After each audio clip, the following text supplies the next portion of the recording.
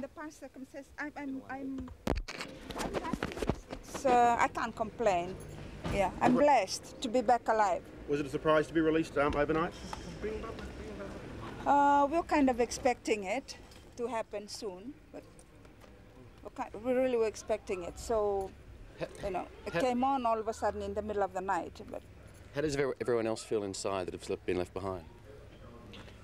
we have quite a strong group of people in there, very strong group of people. You know, it's taken us 30, more than 30 days. Yeah, they're very strong, especially spiritually. That's what's keeping everyone strong. How does it feel to see your family again? Wonderful, wonderful. That's all I live for. How were you? Absolutely first class.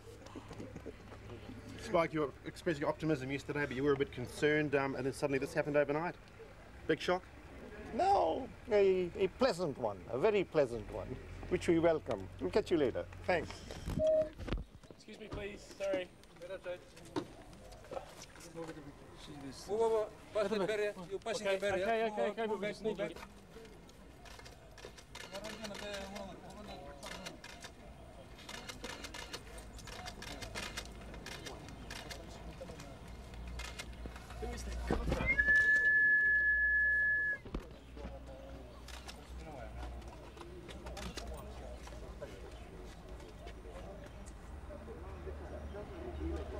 Was a surprise to us as well. The first I knew of it was when I got a phone call at six o'clock this morning. How, how would you describe all of this state?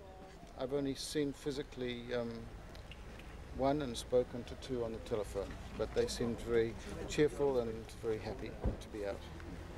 So I'll just leave it at that with you if you don't mind. And, Thank um, you. You'll Thank you. later. Thank you very much.